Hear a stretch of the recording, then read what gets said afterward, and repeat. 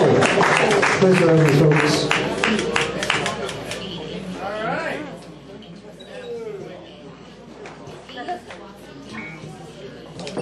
Very good.